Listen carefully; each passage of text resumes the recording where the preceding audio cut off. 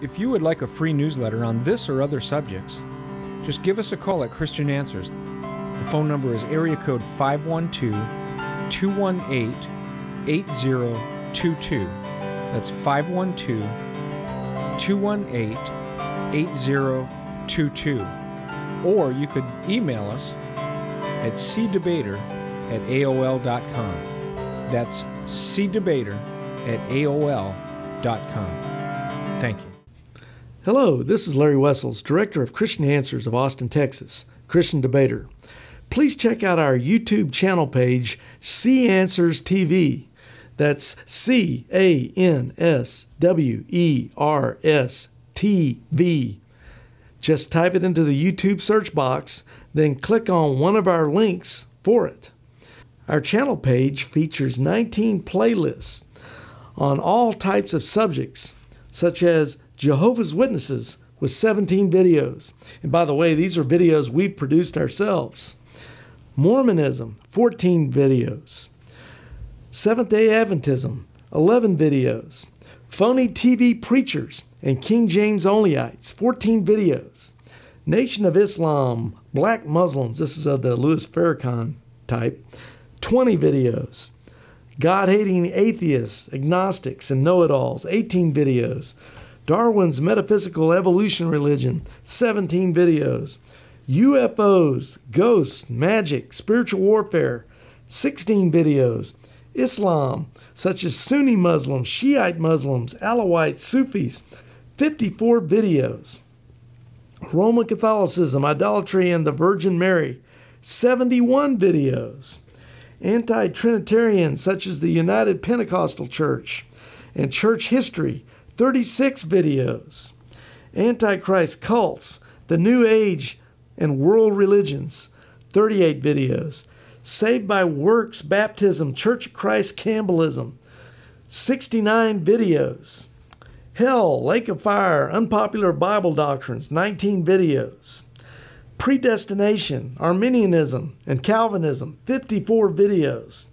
End Times, Supernatural Prophecies, and Tough Bible Questions, 20 videos, and others.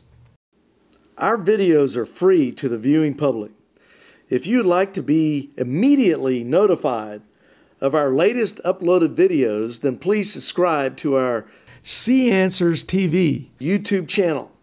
If you have an existing YouTube account, then simply click on the subscribe button at the top of our channel page next to our ministry name, Christian Answers of Austin, Texas. If you don't have a YouTube account, then it is easy to set one up at no cost. Just search YouTube, then the YouTube opening page will appear, and to the left hand side will be a blue button saying Create Account. Click on that and follow the instructions. Let's turn in our Bibles, if you would, to the book of Romans. And I'd like to begin this morning by reading from a portion out of the Word of God in Romans 6 and then in Romans 8. I'd like to start reading in Romans 6, verse 1. What shall we say then? Are we to continue in sin that grace might increase? May it never be. How shall we who died to sin still live in it? Or do you not know that all of us who have been baptized into Christ Jesus have been baptized into his death? Therefore, we have been buried with him through baptism into death, in order that as Christ was raised from the dead through the glory of the Father, so we too might walk in newness of life. For if we have become united with him in the likeness of his death, certainly we shall also be in the likeness of his resurrection. Knowing this, that our old self was crucified with him, that our body of sin might be done away with, that we should no longer be slaves of sin. For he who has died is freed from sin. Now, if we have died with Christ, we believe that we shall also live with him. Knowing that Christ, having been raised from the dead, is never to die again, death no longer is master over him. For the death that he died, he died to sin once for all, but the life that he lives, he lives to God. Even so, consider yourselves to be dead to sin, but alive to God in Christ Jesus. Therefore, do not let sin reign in your mortal body that you should obey its lusts. And do not go on presenting the members of your body to sin as instruments of unrighteousness, but present yourselves to God as those alive from the dead, and your members as instruments of righteousness to God. For sin shall not be master over you, for you are not under law, but under grace. And then, if we could look at Romans 8, starting in verse 1. There is therefore now no condemnation for those who are in Christ Jesus. For the law of the Spirit of life in Christ Jesus has set you free from the law of sin and of death. For what the law could not do, weak as it was through the flesh, God did, sending his own Son in the likeness of sinful flesh and as an offering for sin. He condemned sin in the flesh, in order that the requirement of the law might be fulfilled in us, who do not walk according to the flesh, but according to the Spirit. For those who are according to the flesh set their minds on the things of the flesh, but those who are according to the Spirit, the things of the Spirit. For the mind set on the flesh is death, but the mind set on the Spirit is life and peace. Because the mind set on the flesh is hostile toward God, for it does not subject itself to the law of God, for it is not even able to do so. And those who are in the flesh cannot please God. However, you are not in the flesh, but in the Spirit, if indeed the Spirit of God dwells in you. But if anyone does not have the Spirit of Christ, he does not belong to him. And if Christ is in you, though the body is dead because of sin, yet the Spirit is alive because of righteousness.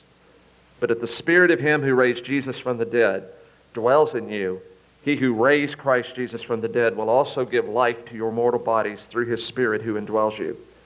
So then, brethren, we are under obligation, not to the flesh, to live according to the flesh. For if you are living according to the flesh, you must die.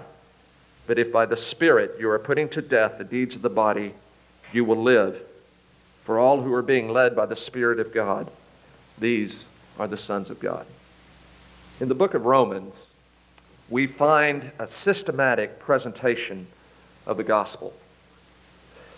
And in the first chapter of Romans, the Apostle Paul makes this introductory statement about the gospel itself, and it's really the theme of the entire book. He says the gospel is the power of God to salvation. The power of God. Now, what Paul is saying is that when an individual hears the message of the gospel and responds in true repentance and faith and is united to the Lord Jesus Christ, it results in a radical transformation of heart and life in that individual.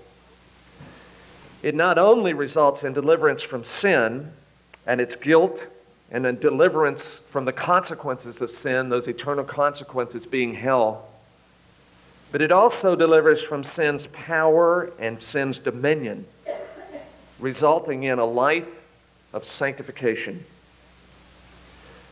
This is a truth that the evangelical church of our day desperately needs to hear. Because all too often, in its teaching on the gospel, by its preachers and its teachers, sadly, all too often, these preachers and teachers separate faith and works. And they claim that the Reformation teaching, which we know as sola fide, which is the Latin phrase meaning faith alone, they claim that this teaching means that salvation does not include repentance from sin and it does not include sanctification as a necessity. Such a claim is completely false. The reformers never separated faith from works. They unanimously taught that sanctification, which means the works of holiness and love, that's basically what it means. That the works of holiness and love will always be produced by saving faith. Always, without exception. That works are the evidence of a saving relationship with Jesus Christ. Martin Luther is representative of the reformers when he says this We do not reject good works. Nay, we embrace them and teach them in the highest degree. It is not from works that we are set free by the faith of Christ, but from belief in works. That is, from foolishly presuming to seek justification through works. Justification does not depend upon our works, although good works neither can nor ought to be absent. Next time you hear someone criticizing Martin Luther as teaching that sola fide means no works, you can say you're absolutely wrong. And you can multiply quotations like this many times over from every single reformer. Not one, not one ever said that you could be saved and live a life of sin. In fact, the Scottish Church in its confession makes the statement that it is absolute blasphemy to suggest that a person can know Jesus Christ and be justified and not have the spirit of sanctification. The popular evangelical teaching on faith alone is not representative of the teaching of the Reformation. It's not representative of the teaching of the Reformers. It's a tragic departure from that teaching. But what is worse is the fact that it is primarily a departure from the teaching of Scripture. The thing that's so condemning about it is not that they disagree with the reformers, it's the fact that the reformers are teaching Scripture, and in disagreeing with the reformers, they're disagreeing with Scripture. It is unbiblical because Scripture says that the Christ who justifies is the Christ who sanctifies. Hebrews 2:11 refers to Jesus in this way. It says, "For both he who sanctifies and those who are sanctified are all from one Father."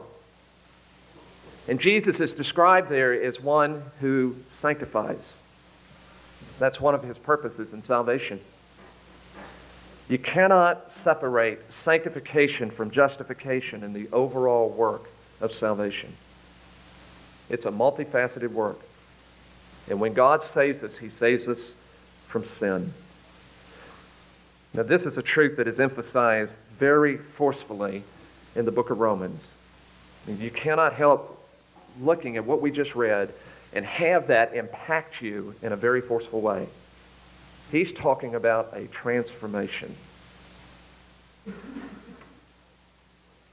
In the book of Romans, Paul sets forth the truth of the gospel in a systematic way.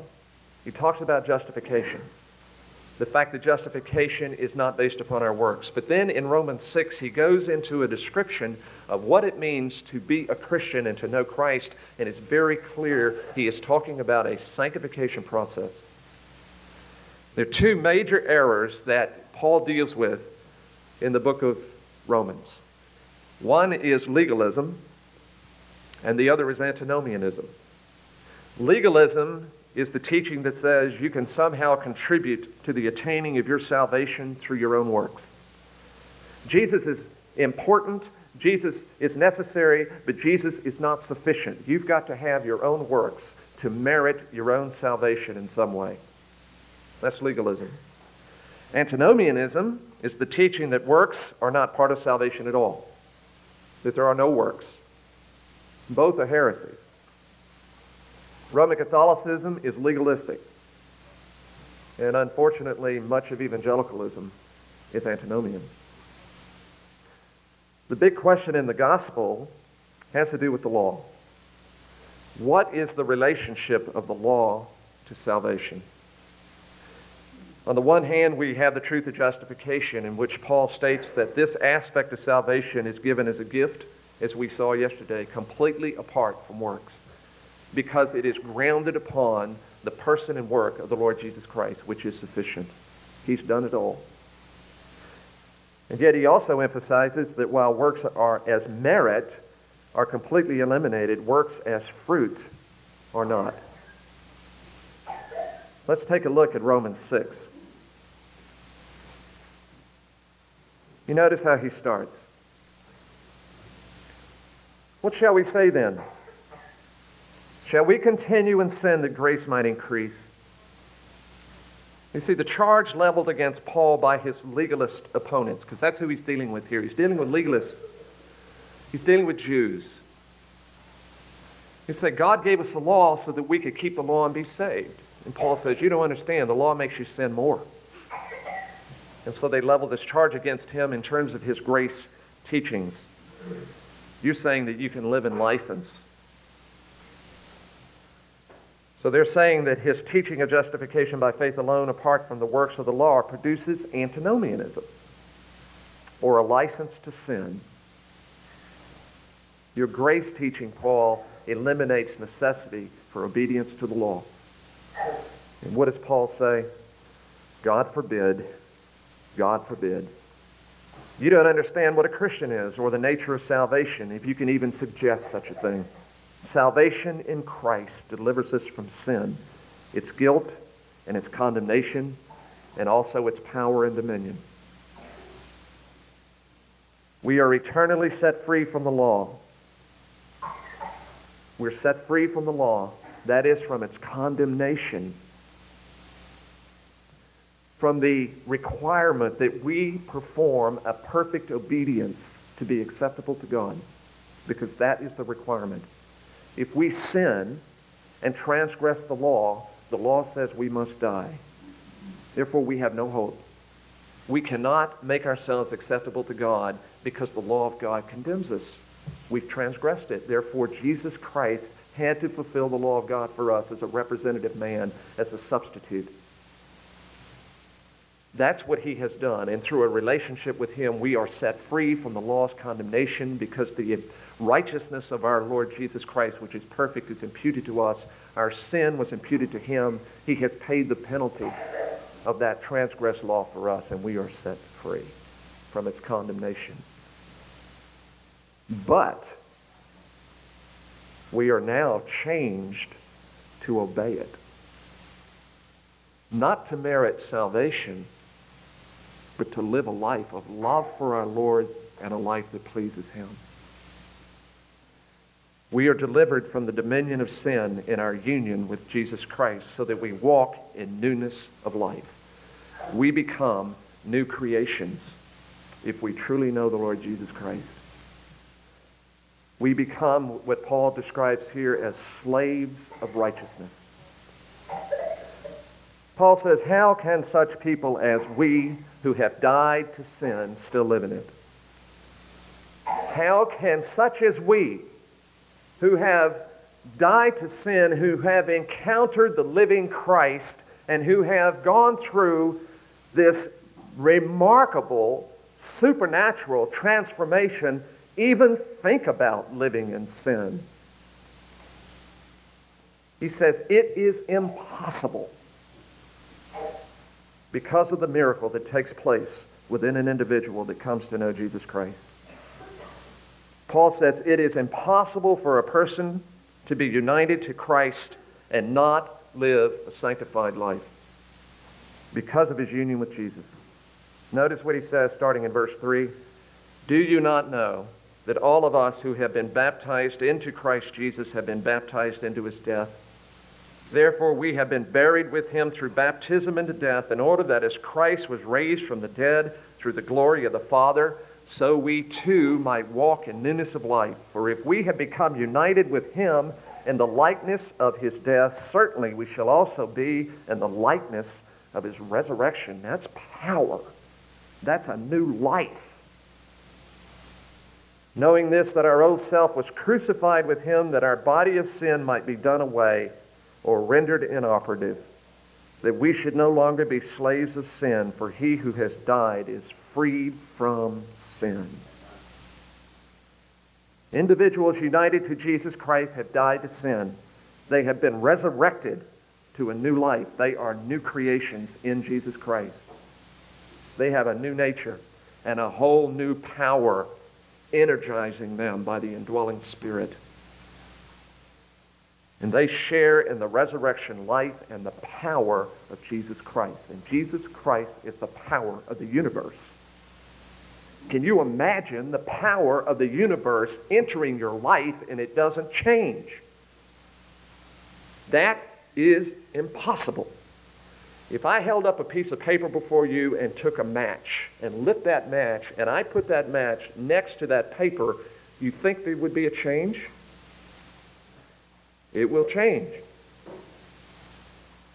You take a sinful soul, dead in sin, and you bring that sinful soul in contact with the creator of the universe who is omnipotent and he raises that soul from the dead. And that person's a new creation. In Romans 7 4, Paul speaks of the spiritual union of Christians with Jesus Christ. He says they're joined to him And the result is that they bring forth the fruit of obedience. He says, Therefore, my brethren, you also were made to die to the law through the body of Christ, that you might be joined to another, to him who was raised from the dead, that you might bear fruit for God. To bear fruit for God out of union with Jesus Christ. So the believer in Christ has died to sin, its bondage has been broken, and he is set free and made alive unto God. And as a consequence of this miracle of transformation, the believer now has the power and the ability to obey God. And that's why Paul enjoins these believers in verse 12. He says, Therefore, in light of what has taken place in your life, in light of what is true of you in union with the Lord Jesus Christ, do not let sin reign in your mortal body that you should obey its lusts. You do not have to sin. The temptation is there, the flesh is there, but you have died. It's been rendered inoperative. It's not eradicated, but you have now been released from its bondage. And Paul says you can obey the living God by the power of God. You are to obey God, he says, and use the members of your body as instruments of righteousness. And Paul emphatically states that sin shall not be master over a true Christian, for he is now in the realm of grace. And grace infallibly reigns in righteousness in a person's life. And then in the remainder of Romans 6, Paul reemphasizes the nature of this radical change that has taken place in the life of the one who has experienced salvation in the Lord Jesus Christ. He has become a slave of Christ and of righteousness. The believer has a new master, where he used to be a slave of sin and a slave to himself, with the result being death. He's dead to God. He now has obeyed the gospel, as Paul says. You've obeyed the gospel from the heart, and you've become one with God. And you've received a new life characterized by power and life and obedience. Notice what he says in verse 17 of Romans 6. Thanks be to God that though you were slaves of sin, you became obedient from the heart to that form of teaching to which you were committed.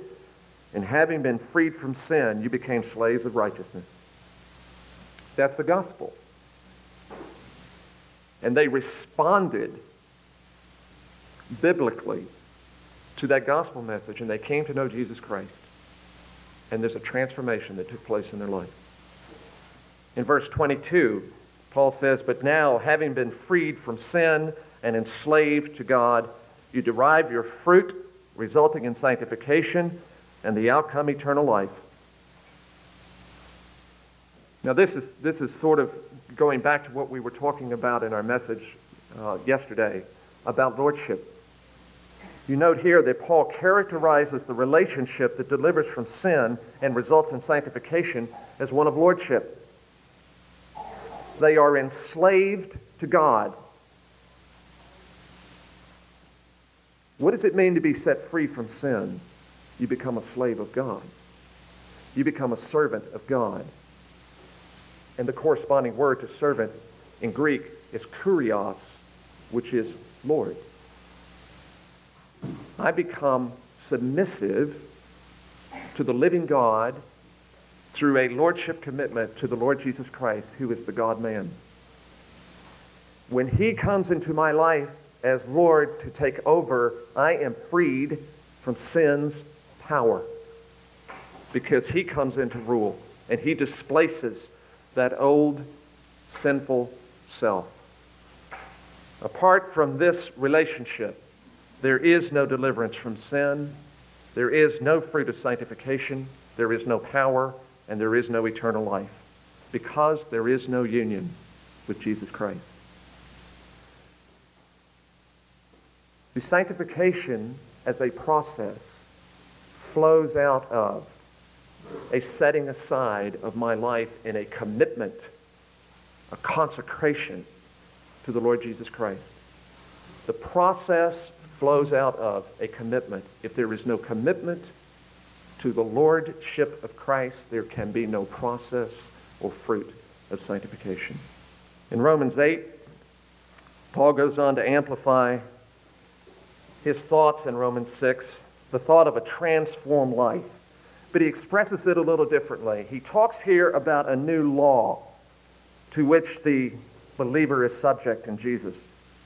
The law of the Spirit of life, which has delivered the believer from another law that held him in bondage, what he calls the law of sin and death.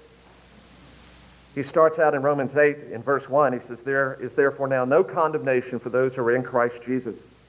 Okay, that's justification. For the law the Spirit of life in Christ Jesus has set you free from the law of sin and death. That's sanctification. Paul then goes on to illustrate the contrast between two kinds of people. There are those who are described as being in the flesh, and there are those he describes as being in the spirit. Now, it's not uncommon to hear certain teachers refer to those who are in the flesh here as carnal Christians. These supposedly are Christians who simply have not learned how to walk in the Spirit and they live carnal lives. In other words, there is nothing distinctively different between them and the people of the world other than the fact that they have professed Christ. They haven't learned how to walk in the Spirit. But that is not what Paul means here. In Romans 8 9, he makes that really clear to us. He says, But you are not in the flesh, but in the Spirit, if indeed the Spirit of God dwells in you. So to be indwelt by the Holy Spirit is to be in the Spirit.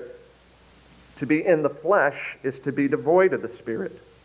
So this is a description of an unregenerate state, of a lost person. A person who is in the flesh does not know Christ. He's lost. He's unregenerate. And so Paul gives us the contrast between the Christian here and a non Christian. Those who are in the Spirit express this new law of life by obeying the law of God.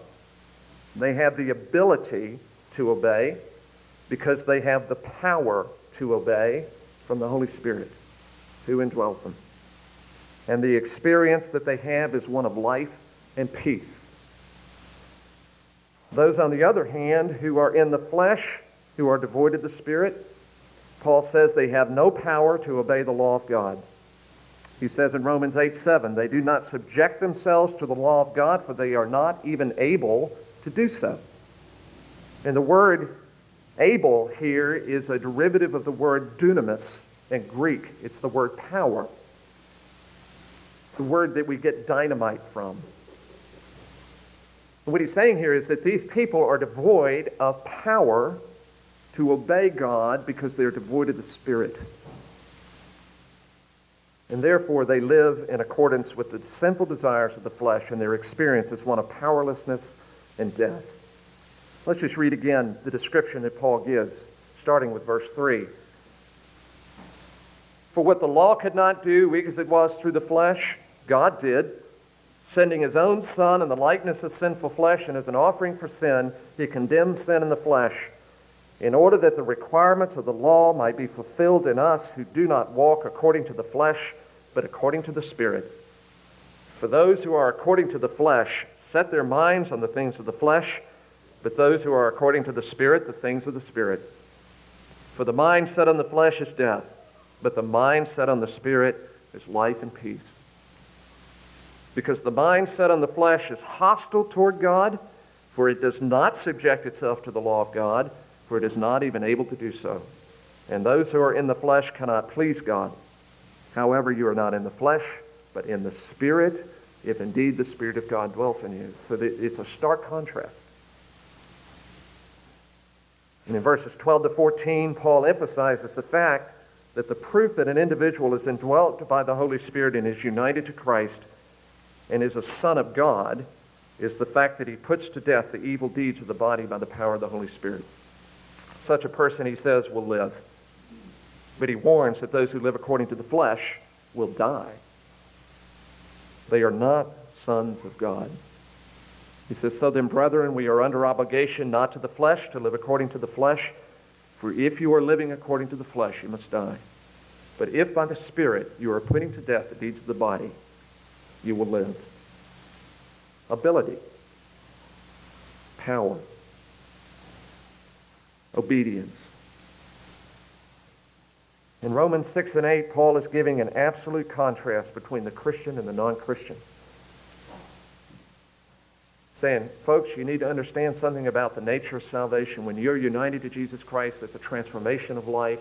That person has whole new desires because they have a new heart and a new nature. They are indwelt by the God of the universe and His Spirit, and they are empowered to live a life pleasing to God because that's the great desire of their hearts. And the Spirit of God causes it to happen. The Christian is a sanctified person who has experienced a radical transformation of life. He's no longer under the law, but under grace. He is no longer in the flesh, he's now in the spirit. And he is no longer in bondage to sin and unable to obey the law of God because he has no power. He now has power. He's been set free from bondage to sin, and he now has the ability to be subject to the law and to obey its commands not to earn salvation, but to live a life of love for the Lord. This is the love of God that we keep his commandments. Jesus said, He who has my commandments and keeps them, he it is who loves me. And he who loves me will be loved by my Father, and I will love him and will disclose myself to him. Don't ever think obedience is not important. As Paul says in Romans 6, the Christian becomes a slave of righteousness. He no longer experiences death and despair, but life and peace. And that's a contrast that's given us by Paul between those who are in the flesh, the unsaved, and those who are in the Spirit, the saved. And this teaching corresponds to the overall teaching of the rest of the New Testament. The New Testament testifies to the fact that salvation and conversion results in this radical transformation of heart and life and mind of an individual. So radical that it's called a new creation. If any man is in Christ, he's a new creation. The old things are passed away. Behold, all things have become new. And that life becomes infused with a power that was never there before. So that whether in living the Christian life or in ministry, the believer is able to live by and is energized by the power of God. The gospel is the power God to salvation because it unites a person to the God of the universe.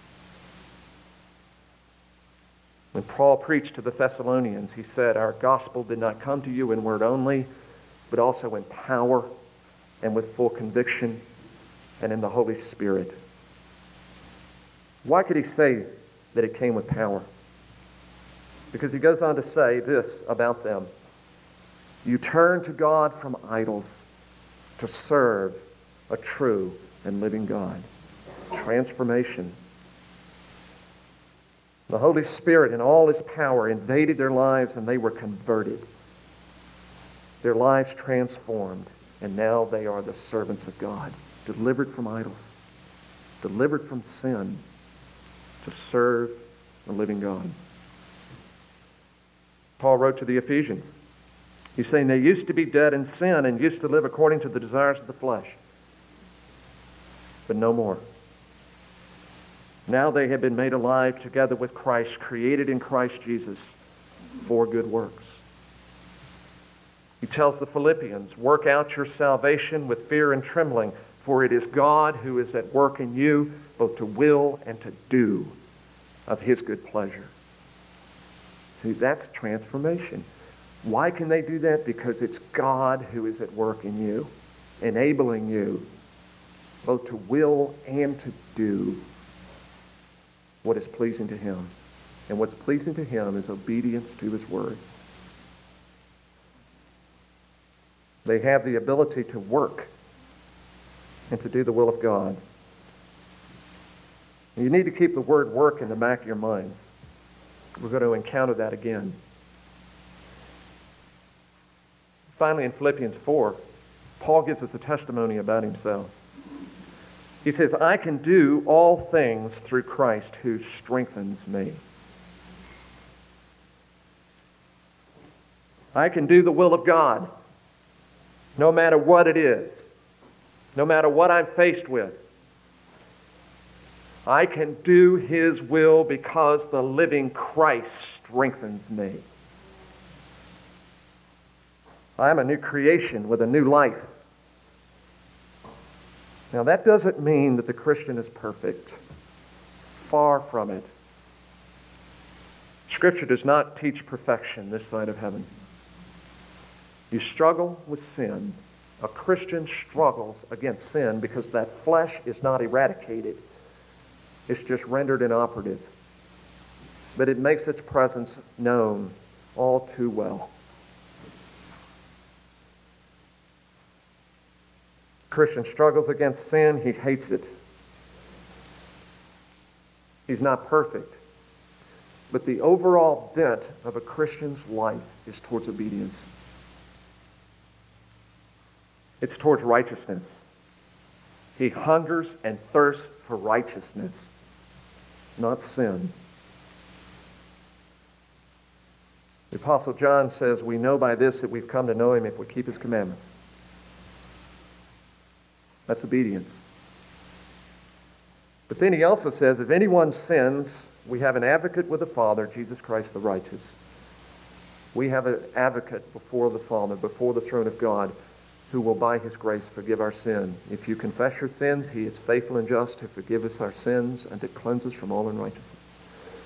John, when he makes the statement about obedience, he's not talking about perfection, but he is talking about a real obedience. The Apostle Paul talks about the struggle against sin in Galatians 5, and he makes it clear there is a struggle. But he also makes it clear that he says, if you walk in the Spirit, you will not fulfill the desires of the flesh there is the ability to obey. And John goes on to say, No man born of God can practice sin because his seed abides in him. He cannot sin as a practice because he's born of God. That's the same thing Paul is saying in Romans 6. How shall we who have died to sin still live in it? Not going to live in it. It's impossible to continue to live in sin because of the miracle that's occurred in our life. We're a completely new creation with a new law operative in our lives. The law the Spirit of life in Christ Jesus, which has set us free from the law of sin and death. And this is why Scripture is so emphatic in its teaching about sanctification and the necessity for sanctification.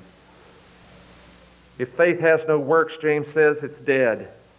You've got a dead faith. You have no works, you have no sanctification, you have no life of holiness, no life of love.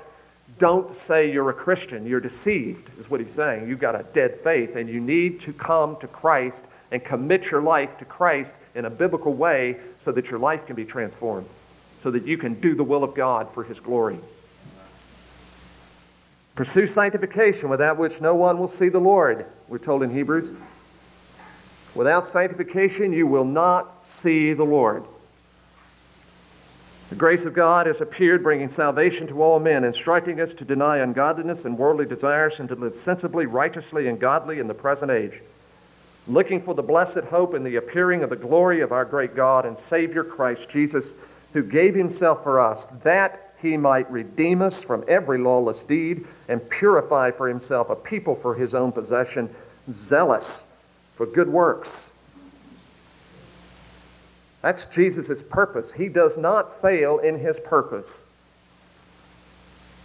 He will purify you as his own if you are his own and make you zealous for good works. He died for all that those who live should no longer live for themselves, but for him who died and rose again on their behalf. His purpose for dying was that he might bring us to himself, that we might be enabled to do his will. For that's what we're created for. Not everyone who says to me, Lord, Lord, will enter the kingdom of heaven, but those who do the will of my Father who is in heaven. I'd say sanctification is rather important. We cannot separate works from faith. If it's true saving faith, you're going to have the evidence of works. Saving faith always results in a life of holiness and obedience because the Christ who justifies also sanctifies. And his omnipotence transforms our lives. What about Romans 7? How are we to understand the teaching of this chapter in light of what Paul has taught in Romans 6 and 8? I've spent a great deal of time examining this chapter, going through this chapter literally word for word, verse by verse, and looking at it in the overall context of Paul's teaching in Romans.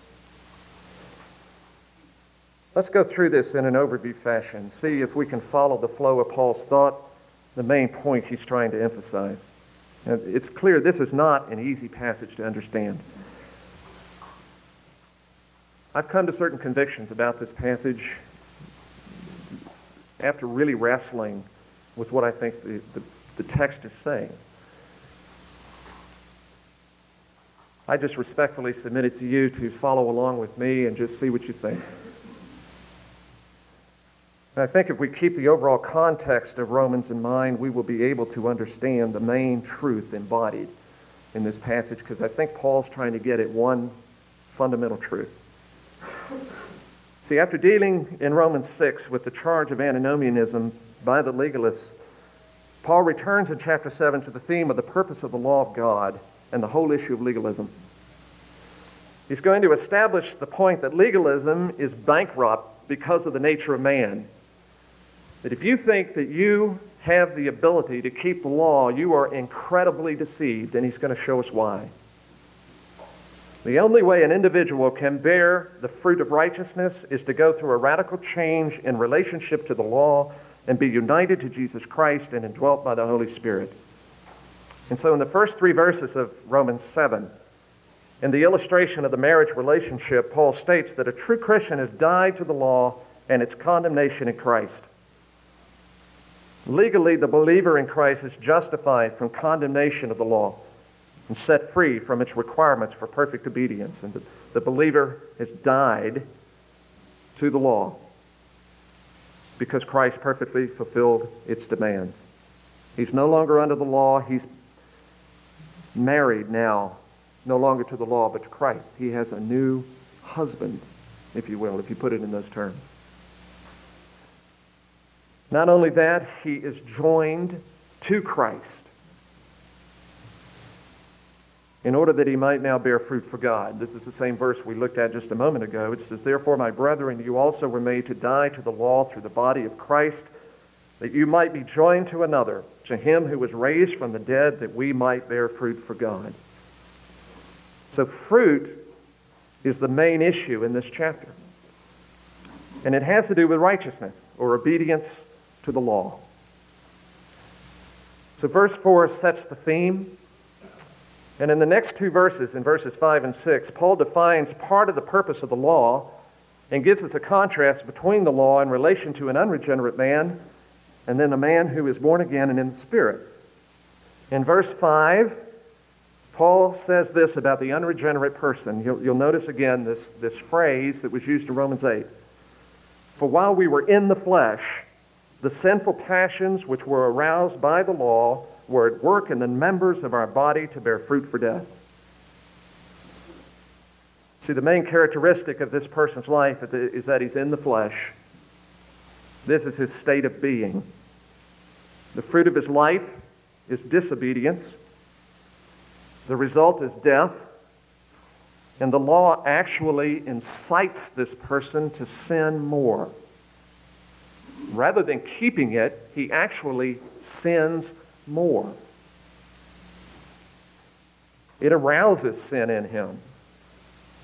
And thus, rather, being, rather than being able to obey it, he actually continually disobeys it. Now, that goes back to Paul's statement. He's got the, the kernel of this truth that he's expounding on here in kernel form in Romans 3 and in Romans 5, where he speaks of the purpose of the law. In Romans 3:20 he says it is impossible for anyone to be justified by the law because through the law comes a knowledge of sin. And then in Romans 5:20 he says the law came in that transgression might increase. So the law here has a purpose. And he's stating that principle again here in verse 5.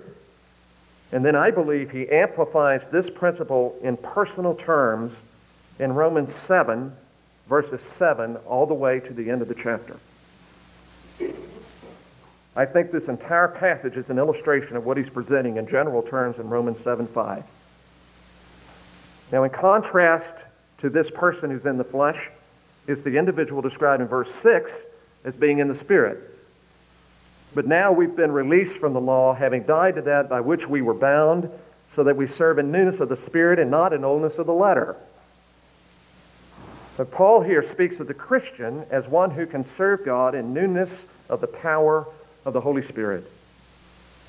And he further amplifies the teaching of this verse, beginning, I believe, with Romans 8 1, and then going through verse 17 where he speaks about the new law of the Spirit being effected in the life of the believer, setting him free from the law of sin and death, enabling him to obey the law of God.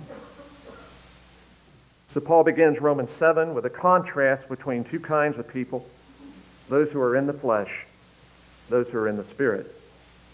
Those who are in the flesh, when confronted with the law, find they cannot obey it. In fact, they sin more. Those, however, who are in the Spirit bear the fruit of righteousness and a sanctified life through obedience to the law. Well, let's look for just a minute at these verses from Romans 7 7 to 25. What I believe is the expanded explanation of Paul's statement in verse 5.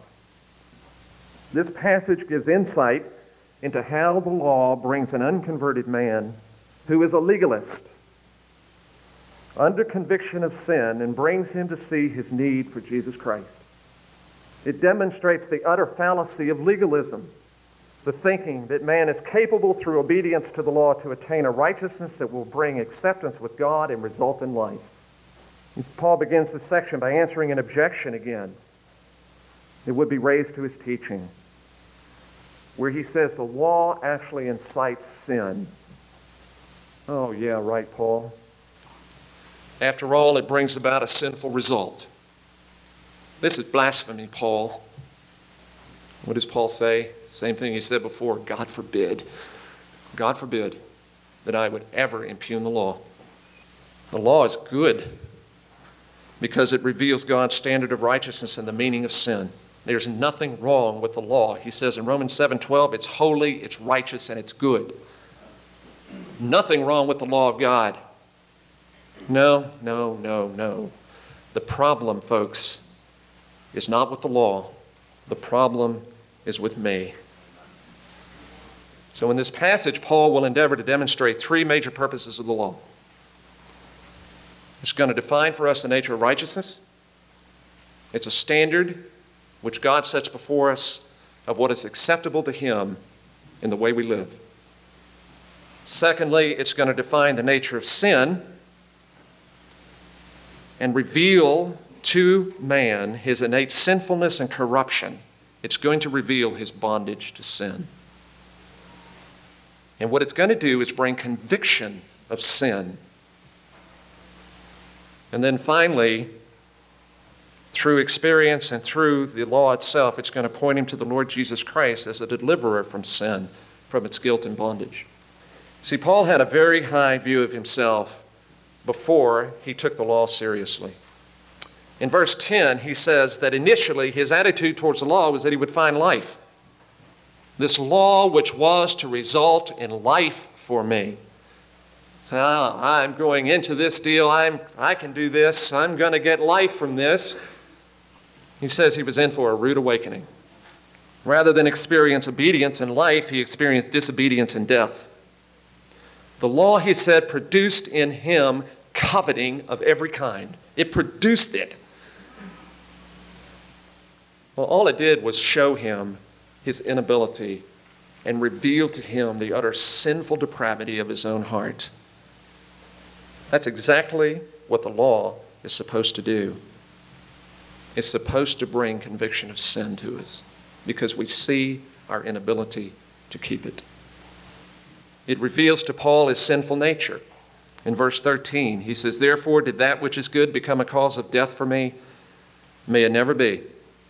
Rather, it was sin in order that it might be shown to be sin by effecting my death through that which is good, that sin might become utterly sinful. Now, who's it going to show it to? It's revealing that to Paul. I'm a sinner. I think I'm going to gain life through obedience. Lo and behold, I'm exactly the opposite of what I thought. Paul comes to the realization I'm a hopeless, helpless, depraved sinner. The Holy Spirit is using the law to reveal to Paul his true condition, his terrible need, that he's a slave of sin. There's nothing wrong with the law. Paul says it's good, it's perfect, and it's holy. And Paul could say that in his unconverted state. He could delight in the law of God in the inner man. This is good. This is a good standard. This is life as it should be lived. And Paul comes to the realization that the law by nature is spiritual and he is not. To keep the law, you have to have a spiritual nature. Paul comes to the conclusion that he is of the flesh, sold into bondage to sin. And what's that a description of? In the flesh, sold into bondage to sin. I'm unregenerate. I'm lost. That's the same phrase used in Romans 7 5 and Romans 8 to describe an unconverted man. The Holy Spirit does not dwell in him. When he says he's in bondage to sin, he is coupling that with being in the flesh, which is the condition of men who are unconverted. A converted man is not in the flesh, he's in the spirit, and he is freed from bondage to sin. Paul comes to the conclusion that he's a sinner, a slave of sin. How does he come to that conclusion? That's wrought in him by painful experience. He has this optimistic and Pollyanna view about the law and his own ability, and it gets completely shattered in the light of his actual practice. His mind has been illuminated by the Holy Spirit to see the innate goodness of the law, and he sincerely desires to obey it as he says in verses 18 to 22, he wishes to do good, but he states that he continually practices unrighteousness. He finds he has no ability or power. The wishing is present in me, but the doing or the working of the good is not. There it is working. I can't work. Can't do it. But he told the Philippians, work because it is God who is at work in you to do and to will of his good pleasure. In his own converted state, he says, I can do all things through Christ who strengthens me. But in the unconverted state, he says, I cannot subject myself to the law of God. I'm not able. So his practice is one of continual disobedience, and his experience is, is that of death. He says, Wretched man that I am, despair. Who will set me free from the body of this death? See, that's precisely the description that's given of the unconverted man in the first verses of Romans 8. It's completely contrary, again, to Paul's own testimony of his own life after he came to know Christ. So I believe that Paul comes to the realization here that there's something fundamentally wrong with him, that he's a prisoner of the law of sin, he's a slave of sin. He wants to do the will of God, and he finds he has no ability. I joyfully concur with the law of God in the inner man, but I see a different law in the members of my body waging war against the law of my mind and making me a prisoner of the law of sin which is in my members. See, Paul is not upset here with the fact that he has to struggle against sin. That's not what he's upset about. He's not upset about the fact that he can't be perfect. He's upset about the fact that there is no performance at all. There is no ability, there is no power, there is no obedience. He is in bondage, a prisoner of sin. And that realization and experience leads him to self despair. It brings him to brokenness, it brings him down. in humility. Wretched man that I am, who will deliver me from the body of this death? And he says, I need deliverance. I need a Savior. And of course, that's precisely what the gospel offers in Christ. That is precisely what the law is supposed to do point us to Jesus Christ as the one who can deliver us from sin. Paul says, Thanks be to God through Jesus Christ our Lord. And the law then has done its work through the ministry of the Holy Spirit to be a tutor to bring him to Christ, as it says in Galatians 3:24, that he might find deliverance from the guilt and dominion of sin. And that is what he finds in Christ. There is therefore now no condemnation for those who are in Christ Jesus. For the law of the Spirit of life in Christ Jesus has set us free from the law of sin and death. Where is it? In Christ.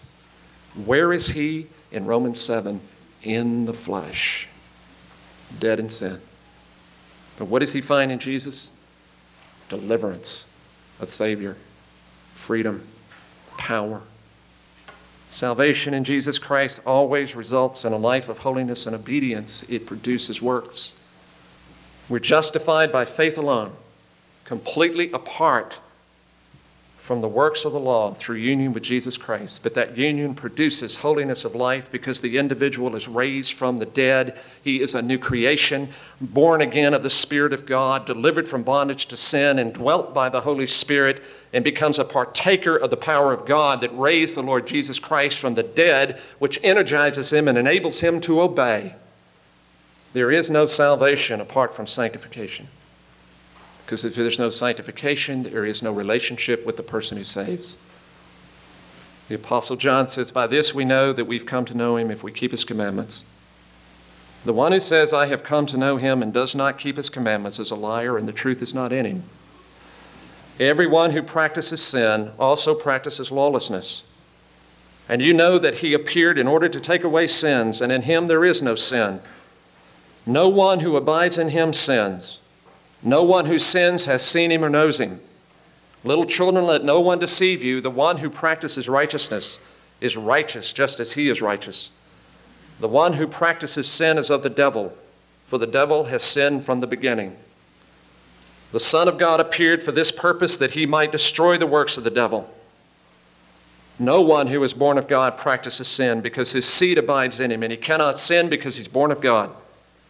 By this, the children of God and the children of the devil are obvious. Anyone who does not practice righteousness is not of God, nor the one who does not love his brother.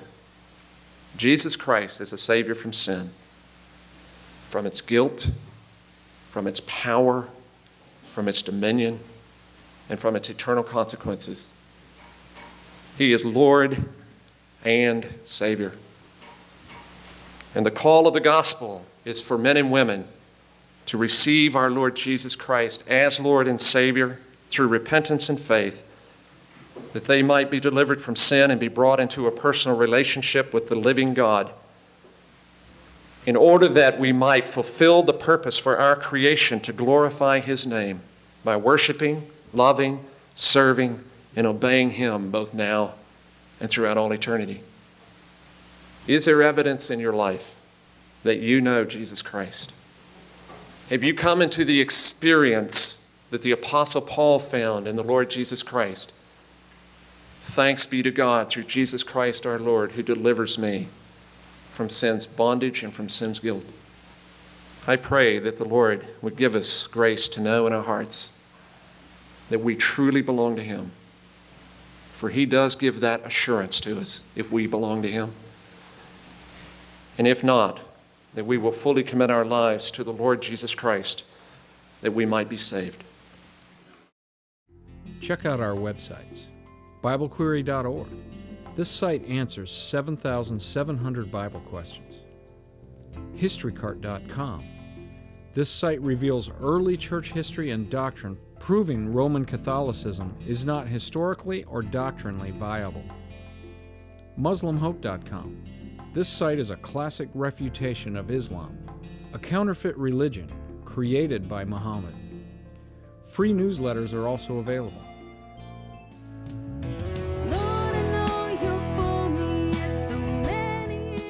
Hello, this is Larry Wessels, Director of Christian Answers of Austin, Texas, Christian debater. My daughter Marlena has come out with a Christian music CD entitled Win This Fight.